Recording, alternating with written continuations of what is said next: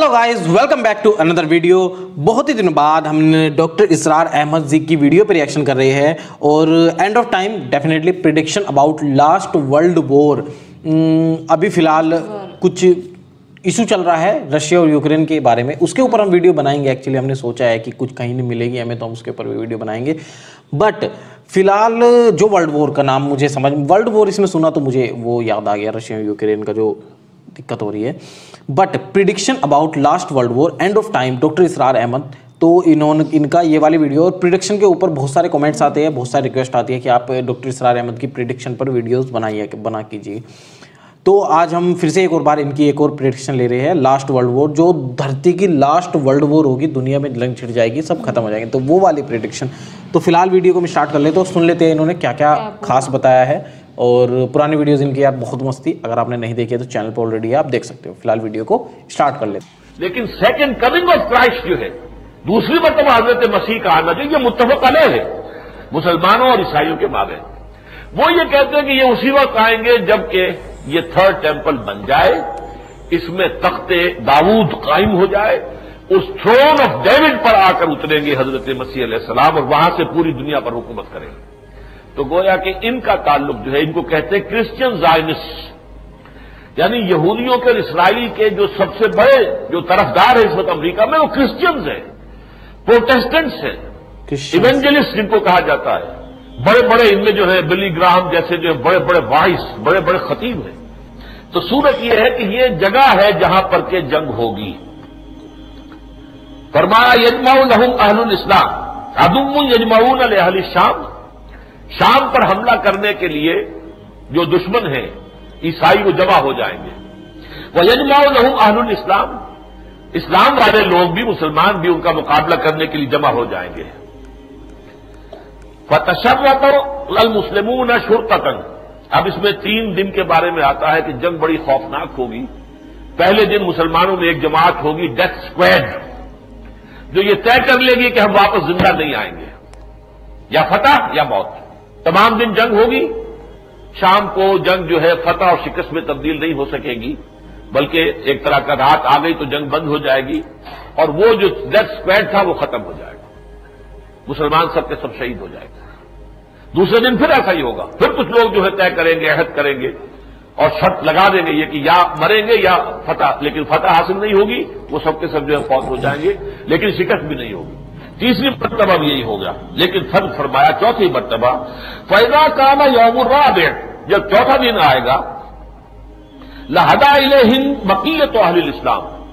फिर तमाम जो मुसलमान लश्कर था, वो पूरा का पूरा उन पर एक ही मरतबा टूट पड़ेगा। फैजल्लादमरत आलहिम अल्लाह ताला दुश्मन की पीछे उनकी तरफ़ कर देगा, यानी दुश्मन भागेगा। बे इंतहा जो शिकस्त खाकर भागेगा। फयकतलून मकतलतन फिर वो जंग होगी, ऐसी जंग होगी, लम युरा मिसलुहा, जैसी कि कभी दुनिया में देखी नहीं गई। इतनी बड़ी जंग होगी। हत्ता अन्न तायर यमुर्रो। मैं जब बात ही। यहाँ तक कि एक परिंदा जो है चाहेगा कन्नी कतराकर लाशों पर से मैं गुजर जाऊँ, कोई नंगी ज़मीन मिल जाए जहाँ लाश ना पड़ी हो। फला युखल्लफ हूँ वो लाशों के उस, जो बड़ा हुआ होगा, उसमें से नहीं गुजर सकेगा। फला युखल्लफ हूँ हत्ता यसिर मैतन।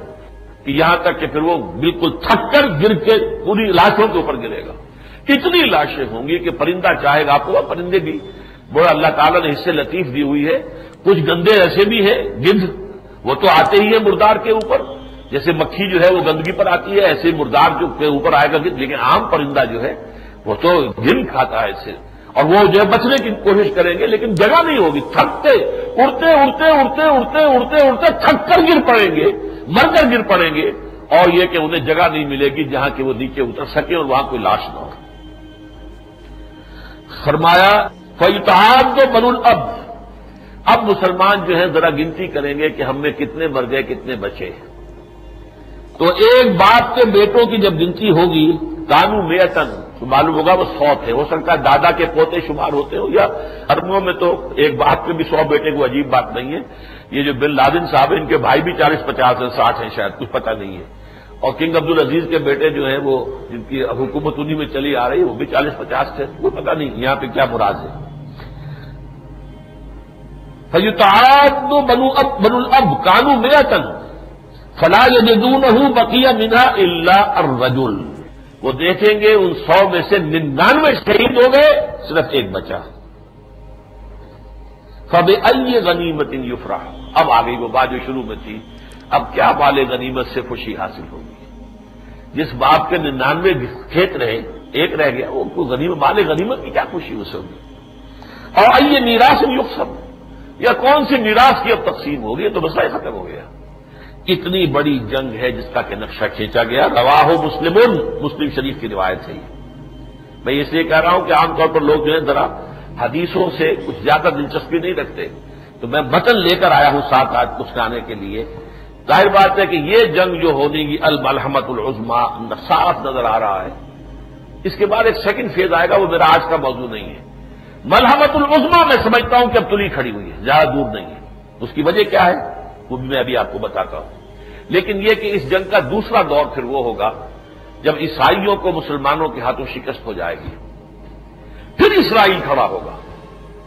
पहले मरहले पर इसराइल को ये चुप करके बिठाए रखेंगे, जैसे खलीज की जंग में बिठाए रखा।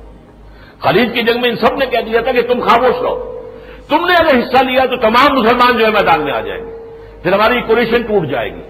अरब जो है फिर हमारा साथ नहीं देंगे। लिहाजा उन्हें शामिल नहीं किया। सारी जंग लड़ी है। वेस्टर्न जितने भी थी कुतें उन्होंने जंग लड़ी लेकिन क्या लड़ी है? जंग लड़ने की नौबत तो आई नहीं। तहस नहस कर दिया ऊपर से एरियल बम्बार्टमेंट के ज़रिए से। और उनके राडर वाडर सारे जाम कर दी सारी उनके तो हथियार निकम्मे होकर रह गए थे इराक के बहरहाल। लेकिन अब भी हो, ऐसा ही होगा। इसराइल से ये कहेंगे तुम बैठे रहो। तुम मत बोलो हम तुम्हारी जंग लड़ रहे हैं। लेकिन जब ये कि यूमियों को शिकस्त हो जाएगी तो फिर इसराइल और उनमें खड़ा होगा एक मसीह दज्जाल वो ऐलान करेगा मैं वो मसीहा हूँ कि जो अब ग्रेटर इसराइल कायम करेगा और थर्ड टेंपल की तामीर होगी। उस मौके पर फिर अल्लाह ताला हज़रत मसीह को नाजिल कर दे। अल मसीह इब्न मरियम, जो कि असल मसीह है, वो इसे कत्ल करेंगे। और उसके बाद मुसलमानों के हाथों यहूदियों का कत्लेआम होगा। एक एक यहूदी चुन चुनकर कत्ल कर दिया जाएगा। इसकी हदीस मैं आपको पहले सुना देता हूँ। अब्दुल्ला इब्न मसूद से है। मुस्लिम शरीफ की रिवायत है, हज़रत अबू हुररा से रज़ी अल्लाह तन अबी हुरारा का काला, काल रसूल सल्लल्लाहु अलैहि तकूम हत्ता युकातुल मुस्लिमून यहूदा हज़रत अबू हुरारा रिवायत करते हैं कि, आ, हजूर ने फरमाया, कयामत कायम नहीं होगी जब तक कि मुसलमान यहूदियों से जंग नहीं करेंगे। फयकुल मुस्लिमून, और मुसलमान उन्हें कत्ल करेंगे। हत्ता यख्तबी यहूदियों में वराइल हजर व शजर। यहाँ तक कि अगर कोई यहूदी किसी पत्थर की चटान के पीछे या किसी दरख्त के पीछे छुपेगा फयकून उस हजरो व शजरो तो वो पत्थर चटान और वो दरख्त जो है पुकार कर कहेगा, या मुस्लिमो है मुसलमान, या अब्दुल्ला है अल्लाह के बंदे, हाजा यहूदी खलफी, आओ ये मेरे पीछे छुपा हुआ एक यहूदी जो है, फताल, आओ, फक्तुल हो उसे कत्ल कर दो। इल्ल गरकद फैनहू मिन शदर यहूद। सिवाय एक दरख्त गरकद का ऐसा होगा जो यहूदियों को पना देगा वो यहूदियों का साथी है। और आज मुझे बताया गया है कि सबसे ज़्यादा प्लांटेशन जो इसराइल में वो गरकद की की गई है। अब मुझे नहीं मालूम वो दरख्त कैसा है किस नौयत का है लेकिन सबसे बड़ी प्लांटेशन गरकद की की गई। ये मरहला आएगा हज़रत मसीह सलाम के नजूल के बाद और उसके बाद फिर पूरी दुनिया के अंदर चूँकि हज़रत मसीह जब आएँगे ईसाइत को खत्म कर देंगे। ईसाइत की इबादत सारा खड़ा हुआ है सलीब के ऊपर। वो कहे सलीब पर मैं चढ़ाई नहीं तुम क्या, किस चक्कर में पड़े हुए हो? यकसुर सलीब, वो सलीब तोड़ देंगे। शरीयत मुस्लिम सुअर हराम था, इन्होंने अपने लिए हलाल कर लिया।